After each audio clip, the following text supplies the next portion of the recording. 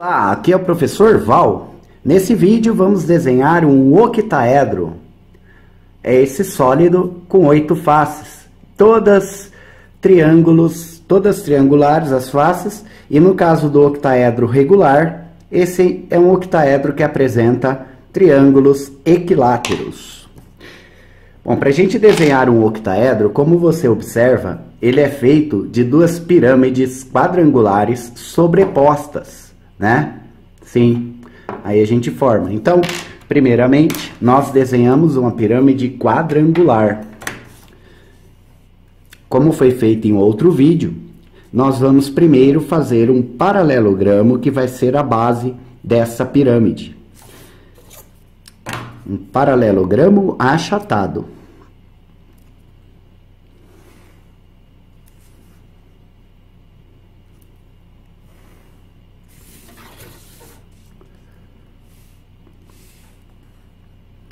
Com os lados bem paralelos. E aqui. Aí depois você pega o meio desse paralelogramo.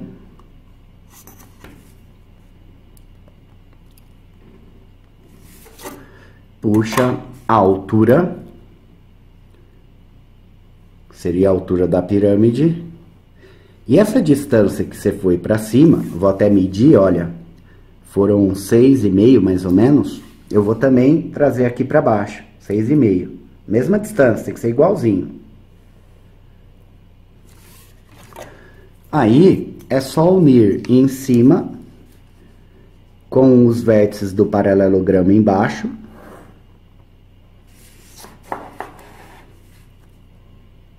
Formando assim as arestas laterais do octaedro. Essa aresta que eu vou traçar agora, ela não vai aparecer, então eu vou fazer mais fraco. Aí essa aqui vai aparecer. Agora, lá de baixo também puxamos as arestas laterais, veja. Aí vai formar o octaedro. Essa aparece. Essa aresta aqui também vai aparecer. Esta aparece. Essa aqui também tá aparecendo, né? Que é a aresta é, horizontal do octaedro. E agora essa última aresta ela não aparece, então vou deixar ela mais fraca. Aí, aqui vou dar uma reforçada. O octaedro está praticamente pronto.